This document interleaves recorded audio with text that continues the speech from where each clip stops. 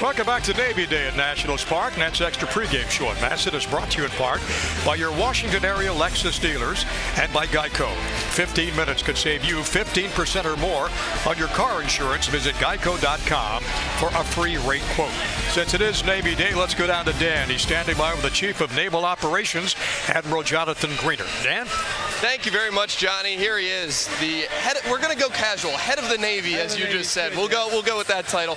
Uh, Admiral, how exciting a day is this for you? Navy Day here at the ballpark. The relationship that uh, the Navy has built up with the Nationals over the years, and you guys get to come out here and have a day at the yard today. Well, we're with our neighbors. You know, being at the Navy Yard, I happen to live there, and there's so many Navy facilities around here, and the Nationals have been so great. So, being here on Navy Day with the Nationals is everything. Beautiful day. The arts rival is here, and we're going to 500 tonight, Dan. That's the deal. There we go. I like the positivity. You mentioned the community aspect here.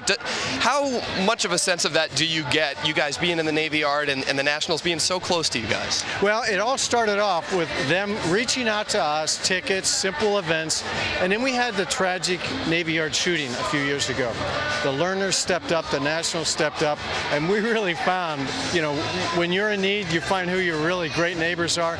They were unbelievable. And, you know, Dan, it's been that way ever since. USO shows, uh, sponsorship for Navy events, they're terrific. You mentioned the USO shows. A number of Nationals players have participated in that. What does that mean for you guys to have the Nationals involved in such a great event? Well, let's face it, the Nationals are, are iconic now. They are a cutting edge club, big club. Uh, they're favored in many cases, so they're popular out and around the world. So getting them out to meet our sailors, soldiers, airmen, and Marines is, is just terrific. And they're so easygoing guys, like we talked about. They are a great group. Now, there's a lot of Nationals fans that are within the Navy. Do you get a sense of that fandom and maybe how it's grown over the time that you've been in Navy Yard and this organization has been here a little longer? You know, I do. Washington was kind of split, Baltimore and whomever.